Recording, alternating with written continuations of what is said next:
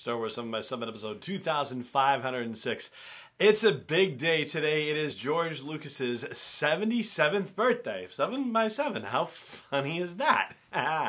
and today I'm going to share with you some fun facts, or at least I hope you'll think they're fun facts, stuff that isn't generally discussed about his life and career from across the decades. Punch it.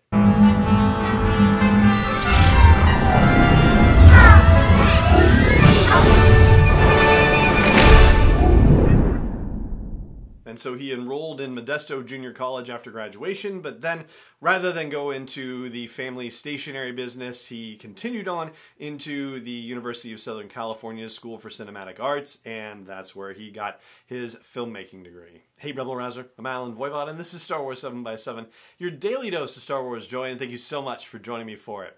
So, in honor of George Lucas's birthday, we're going to take a trip through his life and career. We'll start in the 1960s, and there's a great story from his early days that's really a wonderful illustration of the we'll see concept. If you're familiar with the parable about the you know, farmer who has a son who helps him work in the field, and the son breaks his ankle, and all the neighbors are like, oh, how terrible, and the farmer says, we'll see. And the next day, the army comes by and they're you know, just taking kids to go fight in the war, but they leave the son behind because the son has a broken ankle, and all the neighbors say, Oh, this is wonderful, this is great, you're so lucky. And the farmer says, We'll see, and it goes on and on like this. Well, this is straight from Wikipedia. It said, long before Lucas began making films, he yearned to be a race car driver and spent most of his high school years racing on the underground circuit at fairgrounds and hanging out at garages. On June 12, 1962, a few days before his high school graduation, Lucas was driving his souped up, here we go with the pronunciation, Autobianchi Bianchina, when another driver broadsided him, flipping his car several times before it crashed into a tree. Lucas's seatbelt had snapped, ejecting him and thereby saving his life.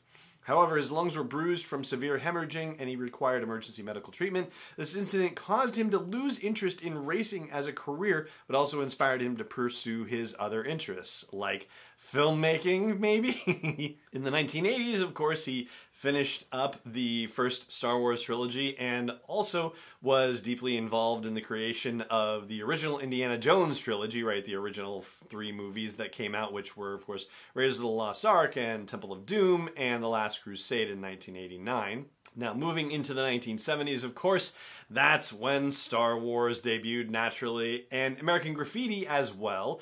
But there were other things that were going on in Lucas's life professionally that were also exceedingly important because as we all know he is you know very focused on not only the business side of things but also the technical development side of things. So in addition to the founding of Lucasfilm in 1971 and as we've talked about on the show this is its 50th anniversary. That's coming in December officially 1970s also saw Lucas found um, ILM, that was in 1975, and Skywalker Sound as well. Pixar actually began as part of Lucasfilm's computer division, which was known as the Graphics Group, in 1979. And Lucas himself, you know, prior to the success of American Graffiti and Star Wars, had been working in, you know, smaller positions on other people's films. So he was actually a camera operator for Gimme Shelter, which is the Rolling Stones documentary, and also was an assistant editor on The Godfather. He was also starting more companies, or at least starting divisions that would become companies, including Lucasfilm Games in 82 and THX, the sound system folks, in 1983. But he was also very active as an executive producer, helping get other people's movies get made. Now, he is, of course, a fan of Akira Kurosawa, and a lot of his movies were very influential in the original Star Wars. Well, he got to produce one of Kurosawa's movies, which was uh, Kagemusha.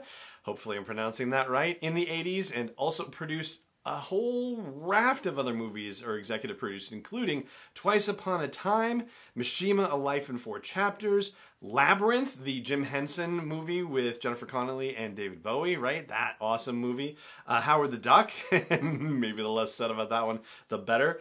Um, Quatsi, another pronunciation thing, which was actually part of a trilogy of very avant-garde movies that featured a soundtrack by Philip Glass, who was also a very avant-garde kind of guy. And this movie, Poa Qatsi was the second movie in the trilogy. Uh, also, Willow, he executive produced Willow in the 80s, and Tucker, the Man in His Dream, and The Land Before Time. He also executive produced the Ewoks and Droids cartoons that hit Saturday morning lineups. Now, in the 1990s, seeing the success of the launch of the expanded universe, the sort of official launch, if you will, right? Because there already was an expanded universe. There had been a you know, series of novels by Brian Daley about Han Solo and the L. Neil Smith novels about Lando Calrissian and Splinter of the Mind's Eye by Alan Dean Foster and the Star Wars comics from Marvel, right? So, you know, it existed, but not in the focused and explosive way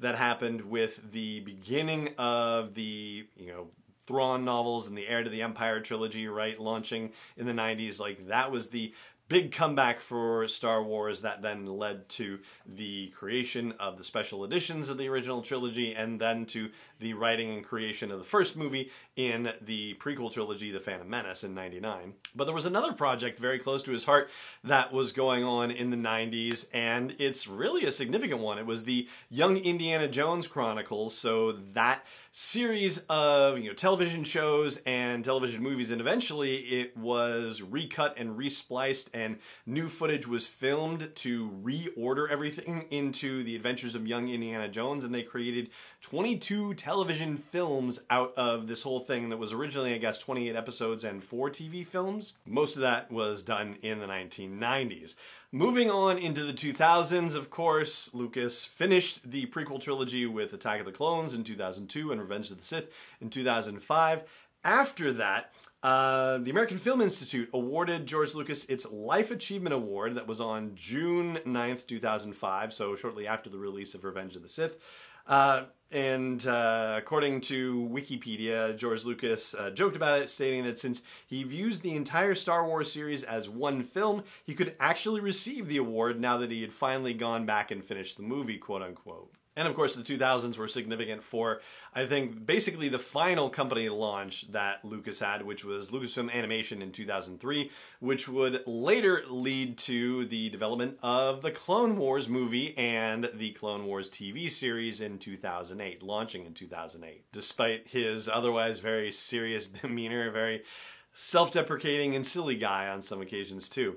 And he also had a couple of very unusual TV cameos. There was a TV show called Just Shoot Me in the 2000s and another one called The OC and he had cameo appearances on those two TV shows for some heaven unknown reason. And yeah, maybe we'll dig back into those for a What to Watch Now segment later on this year. Just, you know, for the heck of it and see what actually happened on those things. And then we get to the 2010s. Now, this has been told before, but apparently it's popping up again because the actor, writer, and producer Seth Rogen has come out with a book called Yearbook, which is sort of a memoir and, you know, sort of not. But he tells in it a story that he has told previously where he claims that he was having a meeting with his producing partner, writing partner Evan Goldberg, with Steven Spielberg. And during the meeting, and this apparently happened in 2011, George Lucas crashed the meeting allegedly and talked about how he was convinced that the world was going to end in 2012, or at the very least, that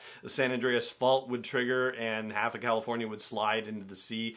And there was apparently conversation about you know whether Lucas would be you know trying to build a spaceship to get off Earth, and if he did, would he invite Seth Rogen and presumably Evan Goldberg onto the spaceship as well? And Lucas flat out told him no, just straight no.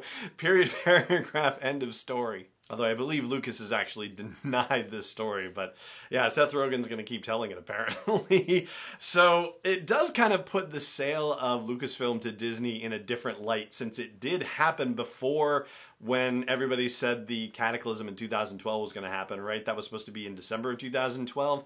And the sale of Lucasfilm to Disney happened in October of 2012. So amazing numbers from this. So apparently this was done as a deal with 55% cash for the sale and 45% Disney stock. So that meant that Lucas got 2.21 billion in cash and also got 37 million shares of stock in Disney, which was trading for around $50 at the time. So it made it a $1.85 billion sale, or part of the sale, I guess. And crazily enough, I looked online just before recording this, and Disney shares are now trading for $178 a share. So that $128 above what it had been when Lucas sold it, which means that assuming Lucas still has all 37 million of his shares, they were worth 1.85 billion. Now they're worth 6.59 billion dollars. Holy cow. And since then, even though he provided treatments for a sequel trilogy, ultimately the treatments were not used, but he still consulted on the stories for The Force Awakens, The Last Jedi, and The Rise of Skywalker. He visited the set for Rogue One and may have, you know, said a thing or two about it while he was there, I'm sure, and also consulted a bit on Solo a Star Wars story as well. And he's also been documented as having visited the set of The Mandalorian both in season one and season two. Still mentoring, still helping people understand all of the important details of Star Wars and what it really means. And now here we are in the 2020s and what is his next act going to be well it seems that it's going to be the lucas museum of narrative art like that's the big thing for him right now. So, according to Wikipedia, it's a museum founded by filmmaker George Lucas and his wife, businesswoman Mellody Hobson. Once completed, it will hold paintings, photography, illustration, cinematic art, and digital art from Lucas's personal collection, as well as a Star Wars exhibit. It will be located in Exposition Park in Los Angeles, and it's scheduled to be open in late 2022. They've already broken ground on it. It's in the works. So there you go. There's a breezy look at some fun facts about the life and career of George Lucas, stuff that we don't generally talk about in, you know, his stuff because we spend so much time talking about Star Wars, but the guy's had a lot of other stuff going on in life, and I hope you enjoyed hearing about some of these other things. So, Ah, that's going to do it for this episode of the show today. And, you know, I hope you, like me, will be saying a quiet thank you to the universe and, you know, possibly more vocally on some social media platform or something like that, just to thank you for everything that George Lucas did to create this incredible galaxy far, far away that we all get to enjoy. So there you go. That's it for today's show. It just remains for me to say thank you so much for joining me for it as always, and may the force be with you wherever in the world you may be. Star Wars 7 by 7 is not endorsed or sponsored yet by Lucasfilm Limited, Disney, or 20th Century Fox, and is intended for entertainment and information purposes only. Star Wars, the Star Wars logo, all names and pictures of Star Wars characters, vehicles, and any other Star Wars related items are registered trademarks and/or copyrights of Lucasfilm Limited, by their respective trademark and copyright holders. May the force be with them. All original content is copyright 2021 by Star Wars 7 by 7 We hope you love it.